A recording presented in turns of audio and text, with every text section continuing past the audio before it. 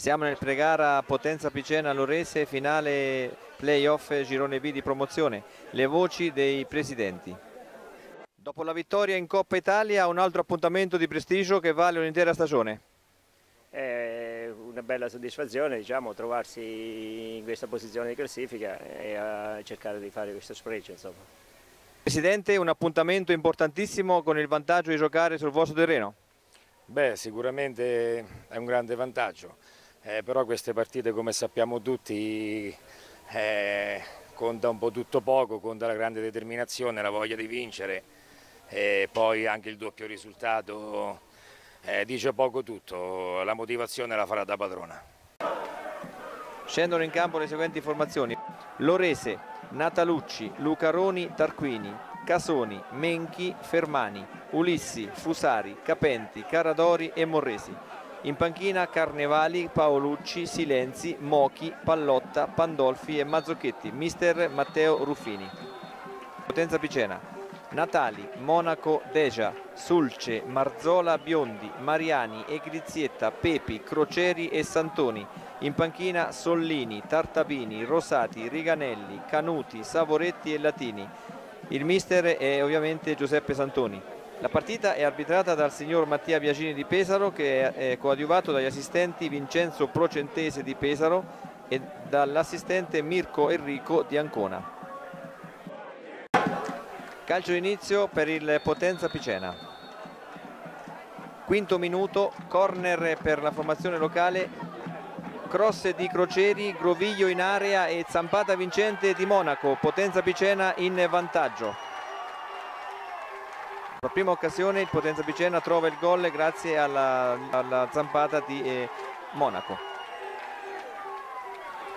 Sesto minuto esce capitano Lissi per infortunio ed entra Emanuele Pandolfi nelle file della Lorese. Tredicesimo, Capenti dalla tre, dalla tre quarti, pallone per eh, Jacopo Caradori che calcia debolmente.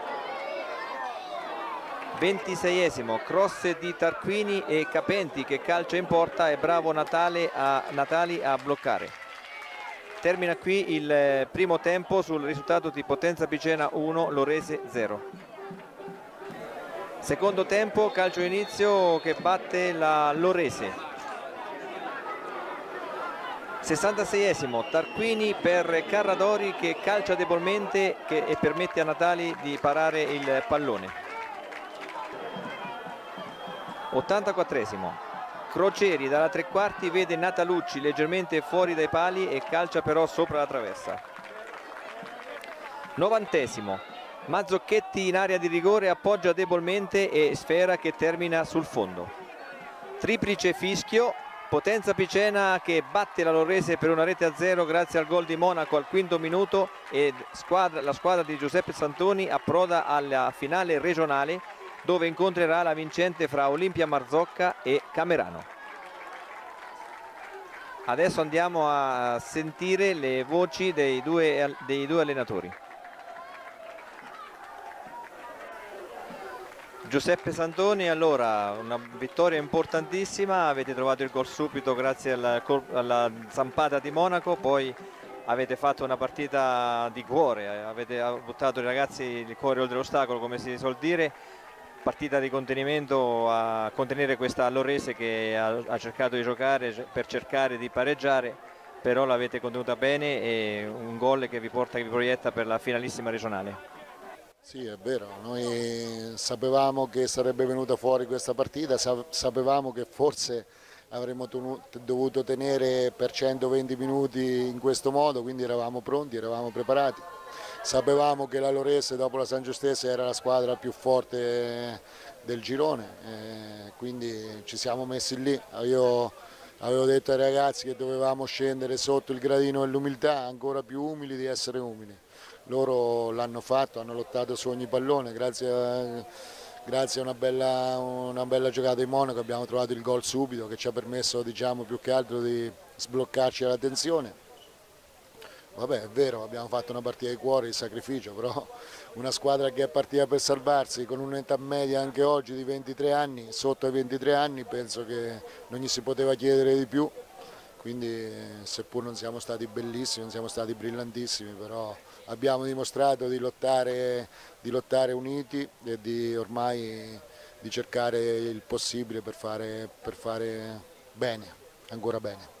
Allora mister, il gol subito all'inizio ha un po' scombussolato le cose, partita votata all'attacco, primo tempo, secondo tempo, forse è mancata un po' di incisività in avanti, complice anche l'infortunio di Ulissi.